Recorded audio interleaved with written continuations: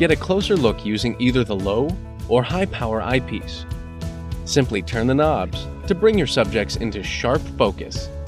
When you're out under the stars, use Celestron's free Sky Portal mobile app for iOS and Android to locate objects in the night sky.